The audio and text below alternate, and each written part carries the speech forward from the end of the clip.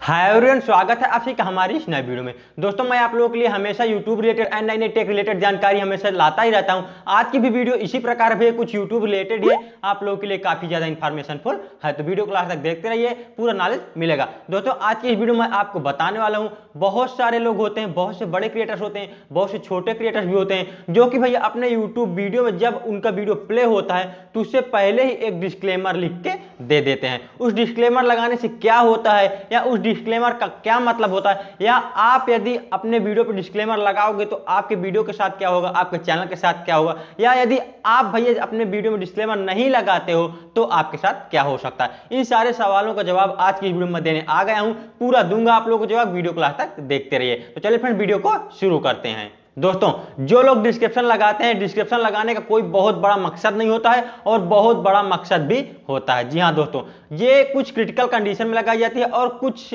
अलग से ही यूट्यूबर्स इसको लगाते हैं। जो लोग भैया यूट्यूब टिप्स मान लीजिए देते हैं, मैं सब कुछ आपको समझाऊँगा भैया एकदम एक से लेके दस तक, लेकिन आपको समझना पड़ेगा। जो लोग यूट्यूब टिप्स देते हैं, मान लीजिए यूट्यूब टिप्स देते हैं तो यूट्यूब टिप्स के बारे में मान लीजिए यूट्यूब की कोई बात हो गई, और वो यूट्यूब के खिलाफ है बताना, वो यूट्यूब के खिलाफ है बताना, फिर भी आप अपने ऑडियंस को उस बात को बताना चाहते हो, उस नॉलेज को प्रोवाइड कराना चाहते हो तो आप भैया उसे कॉपीराइट डिस्क्लेमर के अंतर्गत प्रोवाइड करा सकते हो अपने ऑडियंस को। आप वीडियो बनाइए, उस वीडियो में प्रॉपर नॉलेज दीजिए भैया, और जब आप अपने वीडियो को अपलोड यानी कि एडिट करिए भैया तो एडिटिंग में ही वहाँ पे आप लोग कॉपीराइट डिस्क्लेमर लगा दीजिए। इससे क्या होगा, जब आप लोग वीडियो अपलोड हो जाएगा और आपका कोई भी वीडियो देखेगा तो भैया आपके वीडियो में ही कॉपीराइट डिस्क्लेमर उसको सबसे पहले मिल जाएगा और आप डिस्क्रिप्शन में भी कॉपीराइट डिस्क्लेमर लिख दीजिए। इससे यूट्यूब को भी लगे भैया, ये जो वीडियो है, ये नॉलेज पर्पज के लिए बना है। इससे भैया कोई भी किसी प्रकार के किसी को हानि पहुँचाने की कोई बात नहीं हो रही है।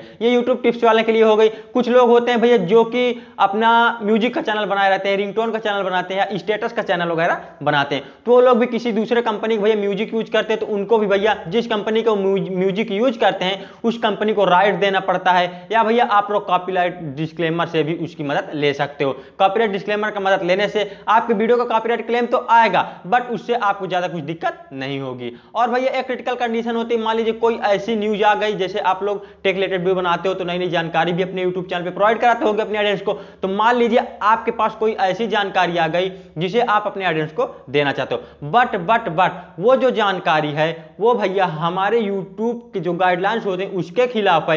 या तो हमारे भारत सरकार की जो गाइडलाइंस होती है, उसके खिलाफ है। फिर भी आप उस न्यूज़ को, अपने ऑडियंस को देना है। भैया, बहुत सारी ऐसी जानकारी होती हैं, आप लोग समझ लीजिएगा। मान लीजिए आप अपने ऑडियंस को वो जानकारी प्रोवाइड करना चाहो। बट यदि आप उस बारे में वीडियो बना के अपने ऑडियंस को प्रॉपर समझा दोगे तो हो सकता है आपके वीडियो पे यूट्यूब कॉपीराइट स्ट्राइक लगा दे, या तो आपकी वीडियो पे एज रिस्ट्रिक्शन लगा दे, या तो कॉपीराइट क्लेम लगा दे। तो यहाँ पे भैया, आप उस वीडियो को कॉपीराइट डिस्क्लेमर के अंतर्गत उस वीडियो को अपने पब्लिक के पास पहुँचा सकते हो। आप बस क्या करना होगा? अपने वीडियो में कॉपीराइट डिस्क्लेमर लगा देना होगा। अपने भैया जो आपका डिस्क्रिप्शन है वीडियो का, उसके भी आप लोग कॉपीराइट डिस्क्लेमर लिख देना होगा। इससे क्या होगा? यूट्यूब समझेगा, भैया, ये जो वीडियो बना है, ये only for only knowledge purpose के लिए बना है। इससे किसी भी प्रकार की, किसी को जान माल हानि की कोई नुकसान नहीं होगा। तो इस प्रकार से भैया आपका वीडियो भी बचा रहेगा, आपका यूट्यूब चैनल भी बचा रहेगा और भैया आप अपने ऑडियंस को एक अच्छे तरीके से नॉलेज प्रोवाइड करा पाएँगे। तो आई होप फ्रेंड्स आप लोग कॉपीराइट डिस्क्लेमर लगाने का मतलब समझ गए होंगे। कि कॉपीराइट डिस्क्लेमर लगाने का जो मतलब होता है, वो क्या होता है?